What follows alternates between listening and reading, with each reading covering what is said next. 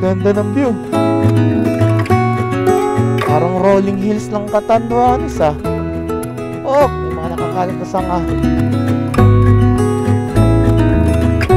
Time check, 9.28. Sabi nila Master JM, mga alas 10 daw, nandun na sila eh. Baka ako pa yung intayin nila ron ah. Ay, ito na nga ang sinasabi ko.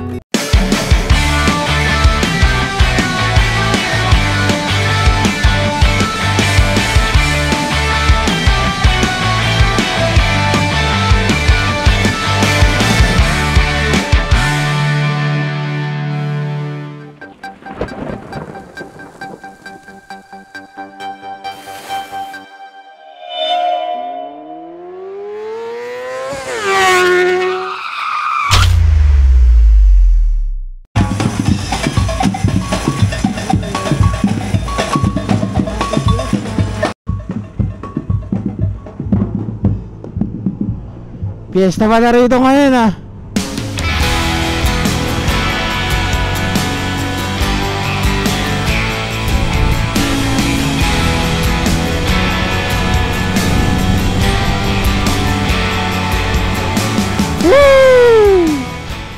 Wakas, nandito na ulit tayo sa may parting Pami, Laguna.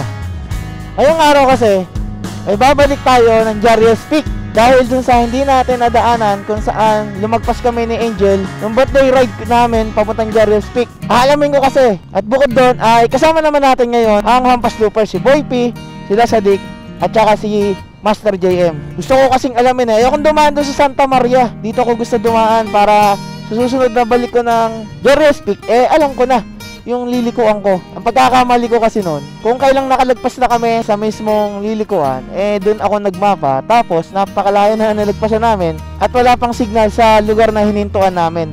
Wala pala dito sa crossing ng PAMI. 6 kilometers lang pala yung layo nung lilikuan natin. Which is ang pangalan ng lugar is Mayatba. Pagdating ng Mayatba, dire-diretso na yan. Meron ng papuntang Jarrell's Peak. Eh, layo na nung nilagpasan natin. Tingnan natin kung hanggang saan yung mayat ba na yan. Mga 8.30 ng umaga ako umalis ng bahay. And pagkaalis na pagkaalis ko, umaambon na agad. Kaya nagkapote na kaagad ako bago umalis. And dito sa loob, naka-hoodie jacket ako, naka-long sleeve at saka naka-t-shirt. Para sure na hindi ako lalamigin pagdating ng Jarrell's Peak. At yung pambaba ko naman, bukod sa pantalon, nag-leggings pa ako panloob. Sa Jarrell's Peak ay doon ko natatagpuin yung mga hampas loopers. Ang problema nga lang, pag nandun na sa Jarrell's Peak, eh wala na kaming communication dahil walang signal doon nung nagpunta rin tayo.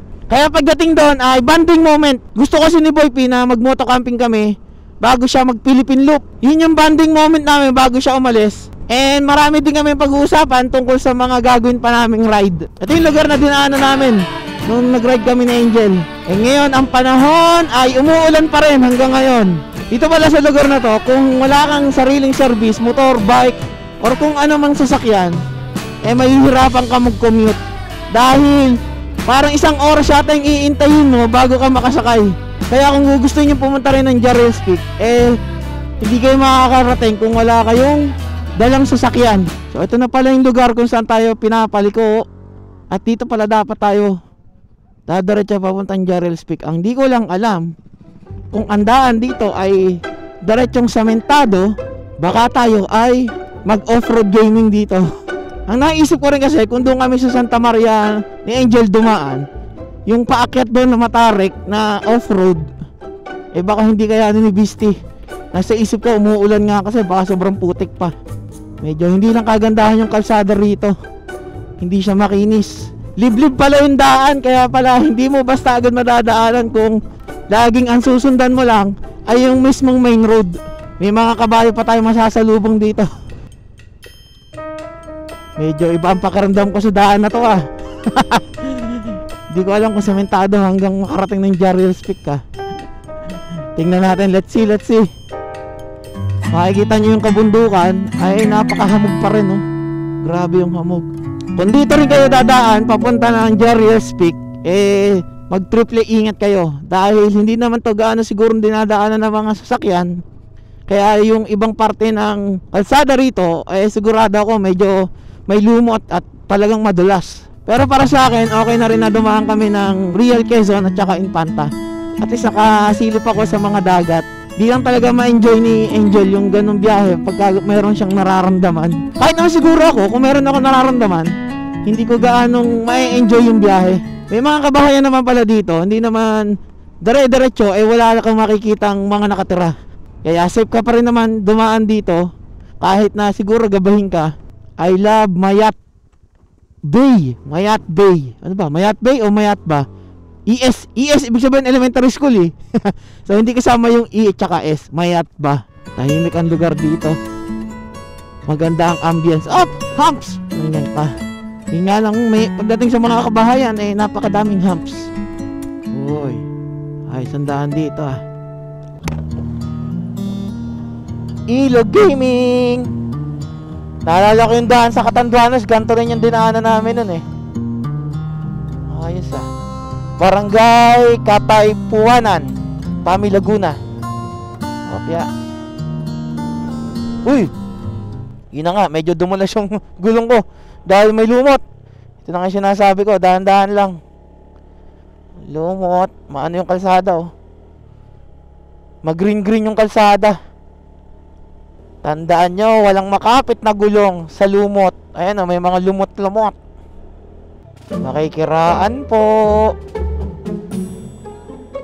Makikiraan po.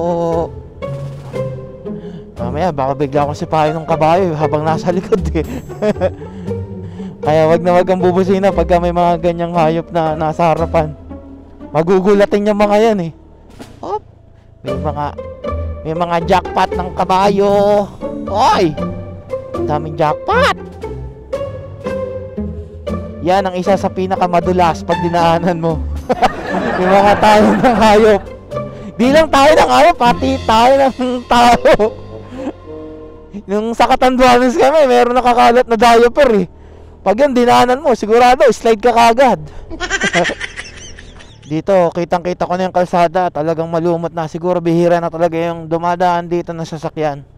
Yung mga nakakasalubong ko, panay kabayo ng sinasakyan eh. Pero ang sarap mag-nature tripping dito ha. Ah, sa inyo naman yung kung saan nyo gustong dumaan. Kung diretso kayo ng Real Quezon or dito kayo sa may Santa Maria dadaan.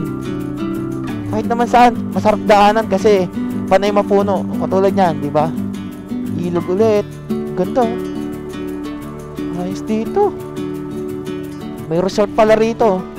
Balay Sita Mountain Resort. Oh, dahan Kapag dito, handahan ninyo. Eh, dahan-dahan lang. Medyo mabagal. Pero dire-diretso naman. Mabagal nga lang. Pero dun sa kabila naman, dire-diretso, pwede kang magmabilis o pwede kang magmabagal. Nasa sa'yo naman eh kung paano mo babiyahihin yung mga bawat dinadaanan eh. Ang mahalaga doon is i-enjoy mo lang. Kahit na lagi mo dinadaanan, enjoy mo lang lagi.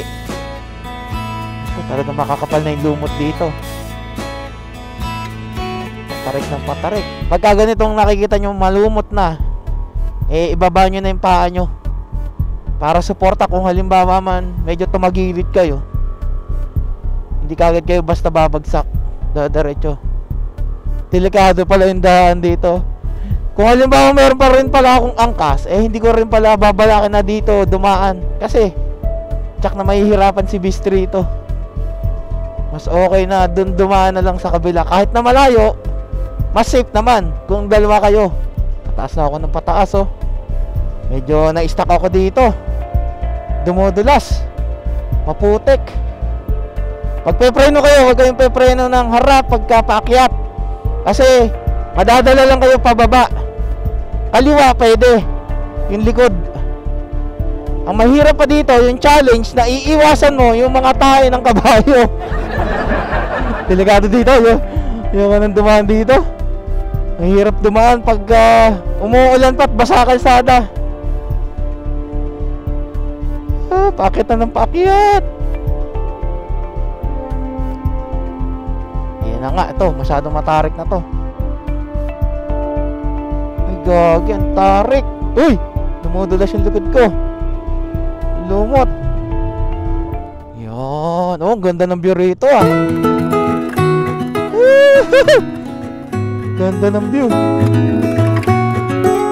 Parang rolling hills ng Catanduanes ah. Oh, ano Kalat na sanga. Time check, 9.28. Sabi nila Master JM, mga alas 10 daw, nandun na sila eh. Baka ako pa yung intayin nila ron ah. Ay ito na nga ang sinasabi ko. Kaya siguro walang nadaan dito kasi hindi pa tapos. Pero malapit na ako eh. Ano ba yung pinasok mo, Aldwin? Ito na nga, kaya nagtaka siguro yung mga tao doon. Mas malakas pa naman sa gasolina kapag ka paakyat. Panay kabayo na yung dumadaan dito. Ako panay putik. Teka lang, ayoko makipagsapalaran. Tingnan ko muna kung ang dadaanan ko ba dito ay may kasiguraduhan na mayroon pang kalsada. Kasi pagka dinaretso ko to, mahihirapan ako pabalik. Yan?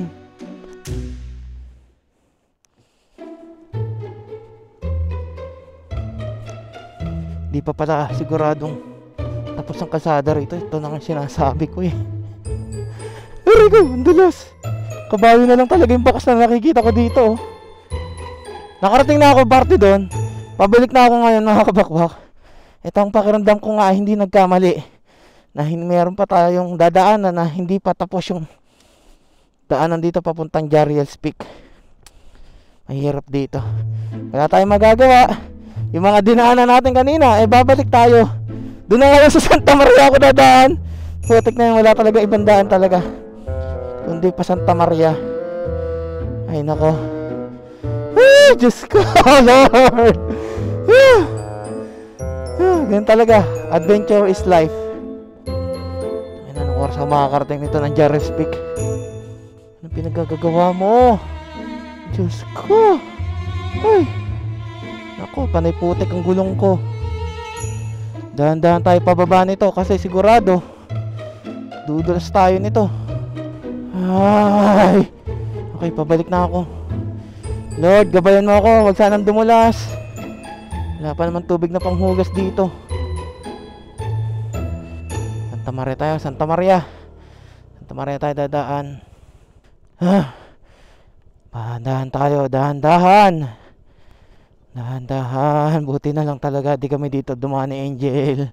Okay na yung malayo. kung hindi, abot-abot na galit sa akin noon kung dito pa kami dumaan. Oh, lesson learned. Aray ko. Puta ragis. Lalim pala. Whew. Oh, ganda ng tanawin dito. Maganda yung tanawin, yung kalsada lang ang hindi. Hanggang makababa at makarating ulit ng kalsada. Whew. Nangya mo. Ang bilis umakyat. Napakabagal lalo natin bumaba. Delicates. Ay. Nagtataka siguro to mga nakakakita sa akin na taga rito. Bakit dito to dumaan? Wala naman daan dito. Nako, yung kabayo. Pumarang pa. Ano ba yan? Nakakatakot na katalikod pa. Baka mamaya bigla akong tadyakan nito. oh, dahan-dahan. Yun. Hindi pa pala sir, fully yung ano dyan, yung kalsada. Hindi pa talaga tapos.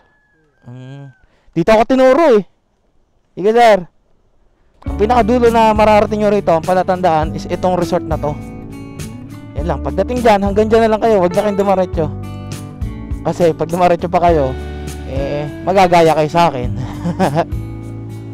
Woo! Putek. Uh, hugas, hugas. Yung gulong ko, panay putik din. Paano mahugasan yun? Waterproof naman yung labas nito.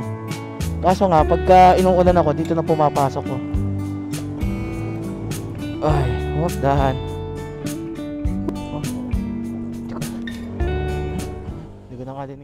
Dito na ako sa may main road at ah, pabalik na ako dun sa mismong crossing ng PAMI. Nag-chat si Master JM. Ang sabi ni Master JM kung nasa na ako. Eh, walang signal tong kanina eh. Ngayon lang ako nakapag-chat. Sana hintayin nila ako. Sabi ko, hintayin nyo na lang ako sa Jarrell Peak kasi nagkandaligaw-ligaw ako. Let's go, let's go. Ay, nako! Ganun talaga. Pero all goods in the hood naman. Okay, dito na tayo sa may parting Santa Maria, yung off-road dito. Mas okay na to. Kaysa dun sa off-road na dinaanan natin kanina.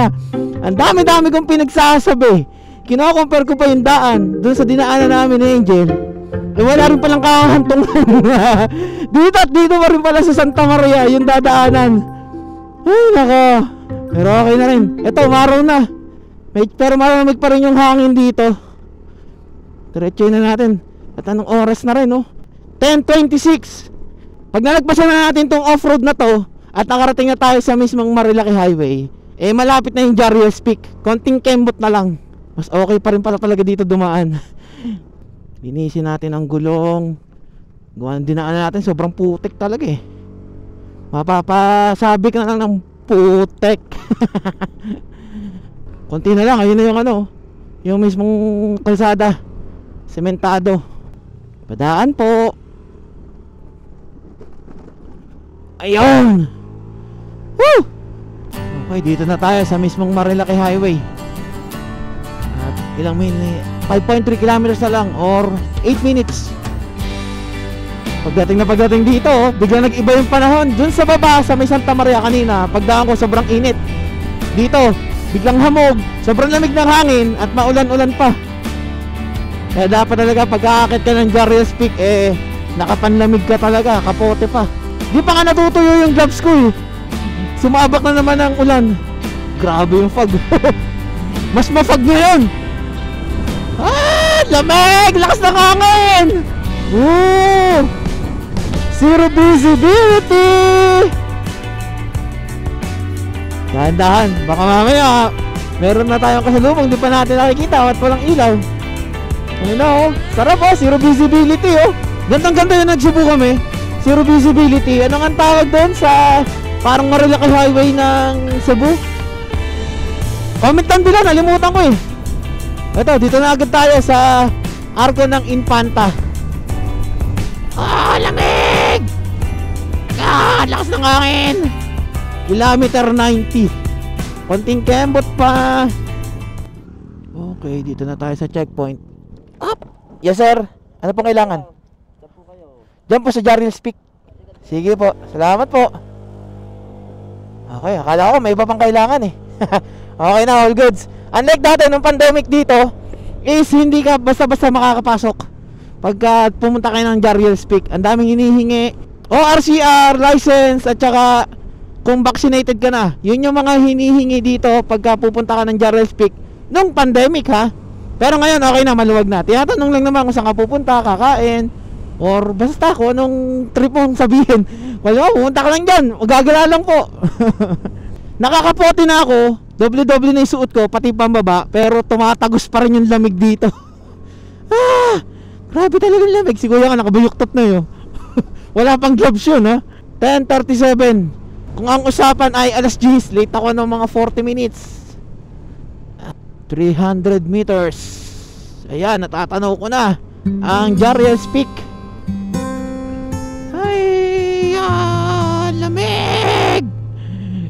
Mas malamig pa ngayon kaysa doon una pupunta ako.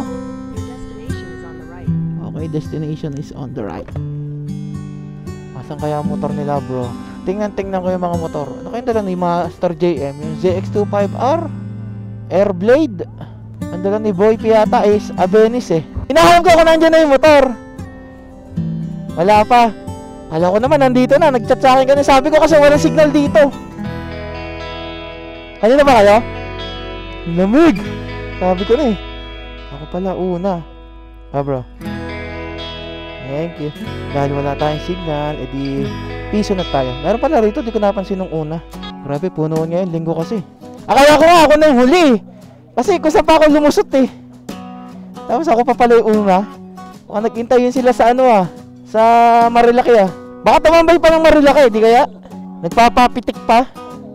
Ko na lang sila rito. Kala ko talaga ako na yung huli.